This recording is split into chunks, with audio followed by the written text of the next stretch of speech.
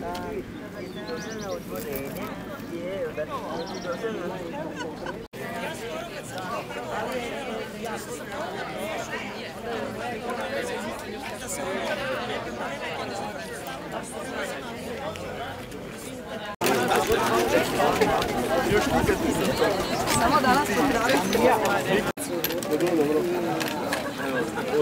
da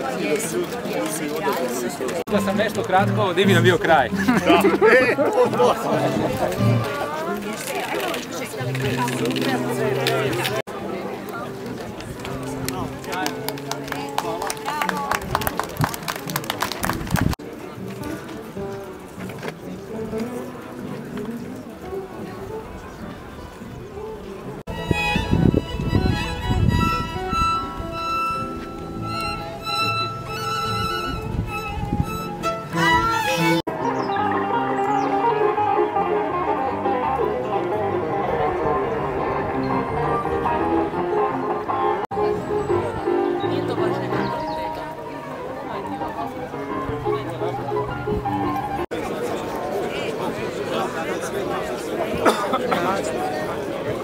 niste gosti, drage osjećanke i osjećani, sve vas srdačno pozdravljam i želim vam se zahvaliti što smo danas zajedno sudjelovali u povijesnoj šetnji na našoj novootvorenoj, sada možemo reći uskoro, promenadi.